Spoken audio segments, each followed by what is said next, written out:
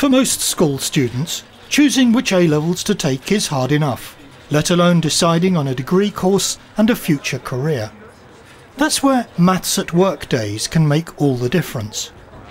We have come to the University of Salford, where groups of A level students from a number of local schools have been invited. In an action packed day, they will find out how studying maths can lead to a wide range of interesting and exciting careers. They will meet some potential employers for whom maths is a day to day part of the job. And they will have a go at some real life maths problems for themselves. It's also a chance for them to experience firsthand what studying at university is really like.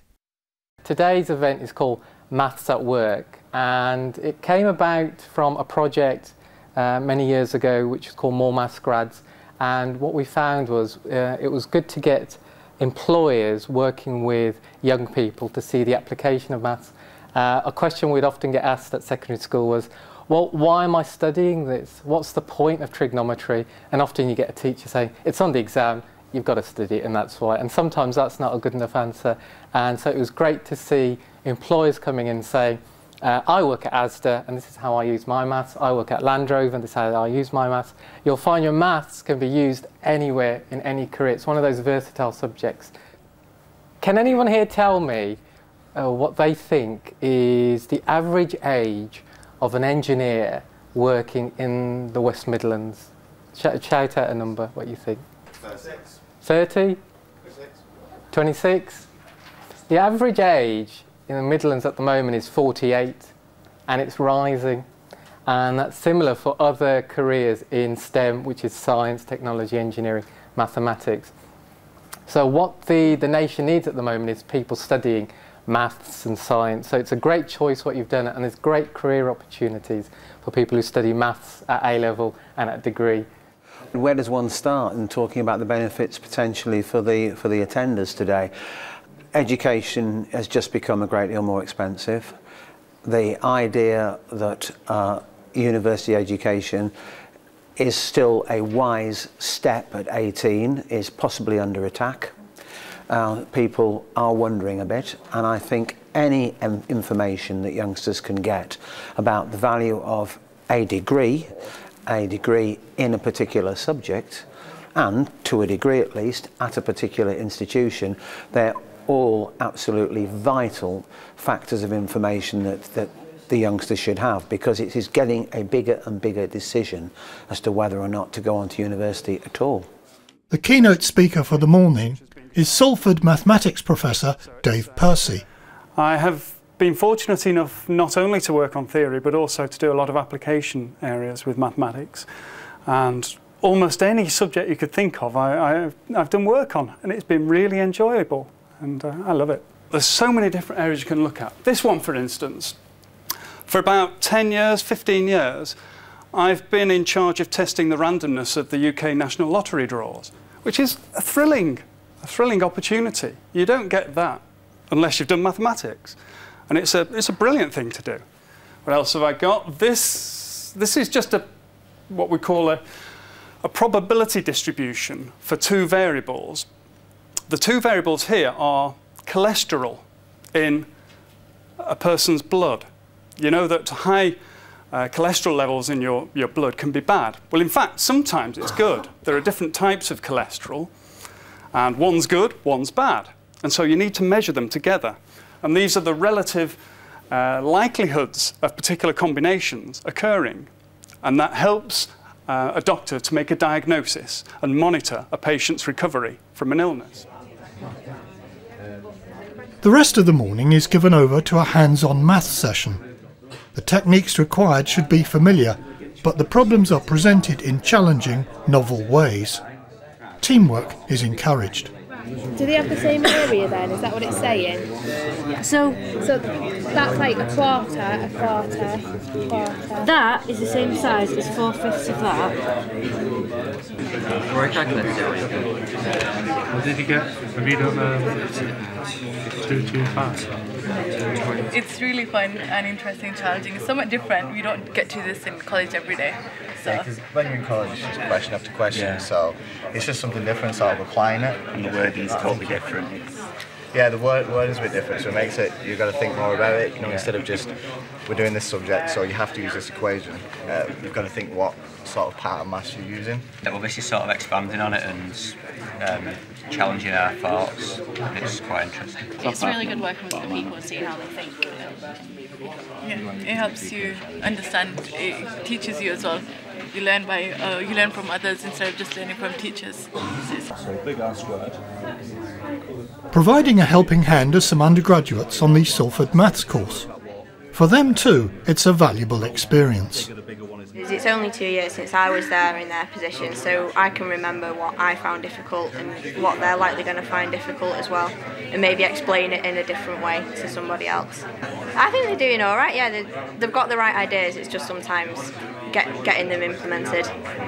But they're a very bright bunch. After a buffet lunch, it's time for a tour of the campus, again led by Salford undergraduates. The day is going well, but that's all down to careful advance planning. In terms of setting the day up, it actually started two months ago.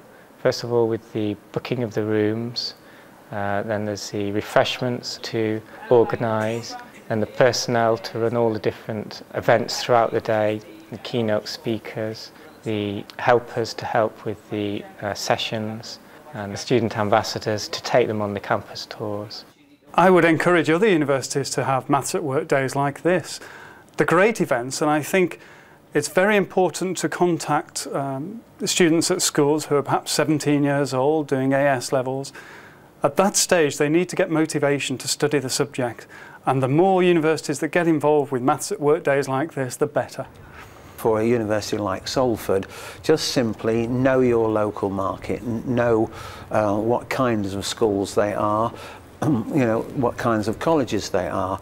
Try and get onto first name terms with, with decision people within those schools and colleges to make sure that they're aware that the day exists and it's going to be delivered properly. It's not just that they need to know it's going to happen, they need to have confidence that their youngsters are going to have a day out of lessons and it's going to be worth their while.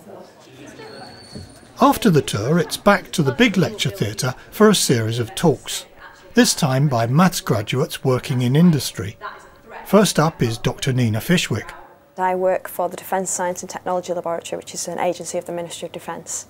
Um, and obviously I, I did mathematics as an undergraduate degree and then as a PhD.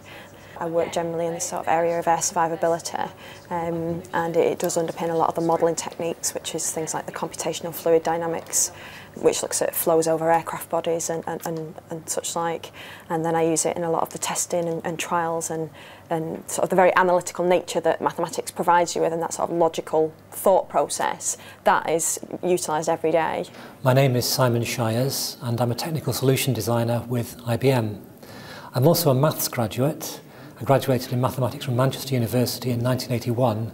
I've been working ever since. I suppose I first got interested in maths when I was about 13. I was in uh, my local library.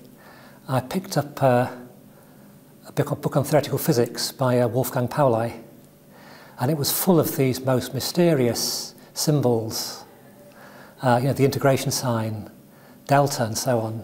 I didn't know what it, what it meant. I knew I wanted to know more about it though.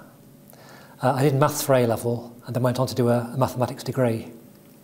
Uh, and in the 30 years I've been working since then, I've done jobs where advanced maths has not been necessary, but the ability to think mathematically definitely has.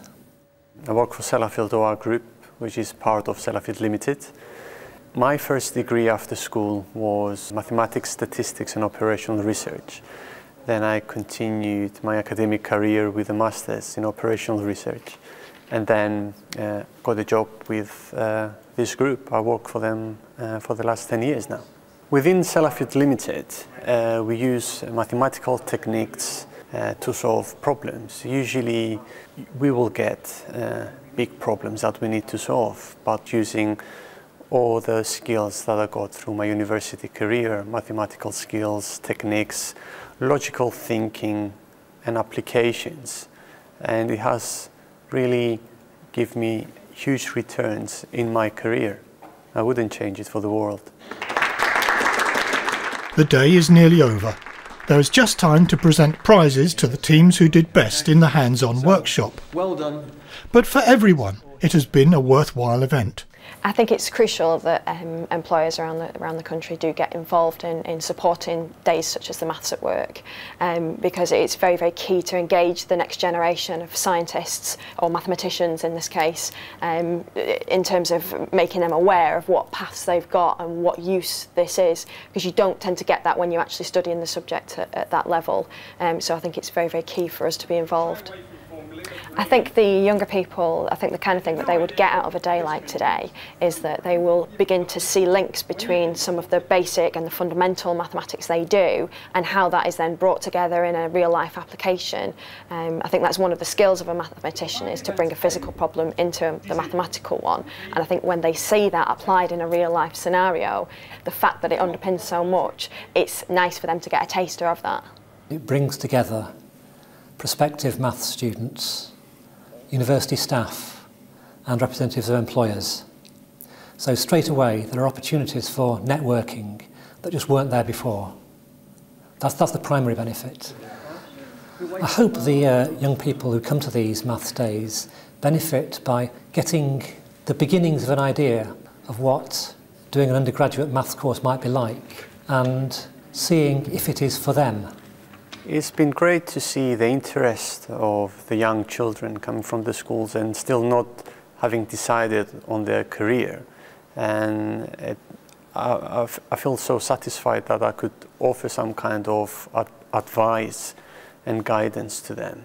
And I remember that at that age myself, I was a bit lost, but uh, now I can see the benefits of having a mathematics degree. For A-level students that uh, are still in doubt whether to study maths or not, I would strongly recommend to follow uh, a mathematical academic career to start with. That opens many horizons for the future, whether it's finance, the finance sector, engineering, uh, even medicine, uh, uh, medical statistics, and so on. 60% of the professions in the industry use ma mathematics and mathematical techniques. That gives you a good understanding that maths is a basic skill to have in whatever career you pursue. At 16 and a half, 17 years of age, I mean, how much does a bright youngster know about how mathematics, you know, sort of winds its tentacles into all sorts of things uh, at, in the world of work, from, from Tesco's to the Minister of Defence to the financial houses and, and whatever. I mean, its tentacles go everywhere, and it isn't obvious to a 16 and a half, 17 year old how wide ranging and powerful the subject of mathematics is. And they saw firsthand today from three employers, all of whom are Manchester, UMIST, or Salford uh, alumni, um, just exactly how they're using their maths degrees in very different kinds of work. I think we need to spread the word of mathematics as much as we can in today's environment and we've got to enthuse about it at every opportunity. And it's only by having events like this that the students are aware of what's out there, what work requires mathematics, and the employers, of course, by getting involved, learn a bit as well, I think, about the opportunities that we can offer to them. The student feedback uh, that we ha have had for the day has been excellent. They've all really enjoyed the day. They've really enjoyed the keynote, the, the, the initial speakers and the hands-on sessions, mass sessions. Um, look, uh, having a experience of the university campus and what it's like to um, experience university uh, lectures and environment and also the ability to interact with uh, employers and see what mathematics um, employers uh, do in their jobs. And this is the first time it was done at the University of Salford, but it's been such a great success we want to do it each year from now on. But perhaps we should leave the last word to the delegates themselves.